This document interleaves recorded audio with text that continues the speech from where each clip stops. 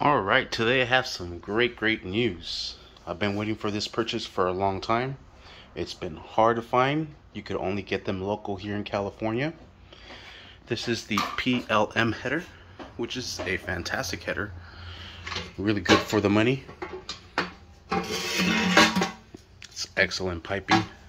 Very good. But now this PLM header is up for sale because we got ourselves some Skunk 2 yeah, mega powers.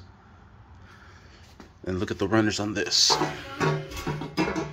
Look at the difference. You have the runners. It's a two collector pipe all the way to one collector down there. Same thing here. One collector for two and then for the rest. Similar design. Don't get me wrong. But it's just that the one connector is a lot shorter, a lot smaller. This one's higher flowing. This one you have a donut gasket in the way uh, for the test pipe. This one does not have a test pipe. So, I am happy to say I am now an owner of Skunk 2 Mega Power Header. Sucker's gonna rip now.